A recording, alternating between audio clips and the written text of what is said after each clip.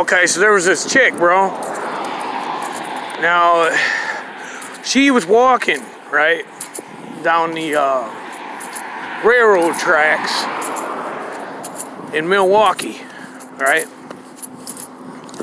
It was it was midnight, okay. What they say, uh, strangers, uh, fucking, uh, at night, smoky rooms, cheap cologne, cheap sunglasses, right? No, man, she's walking, right? And I swear, you look it up, she got raped by a fucking bear, dude. It went to town on her ass, tore her right up, bro. Ripped her pussy up, slapped her in the face. She didn't die. It shit on her chest. It's fucked up, bro.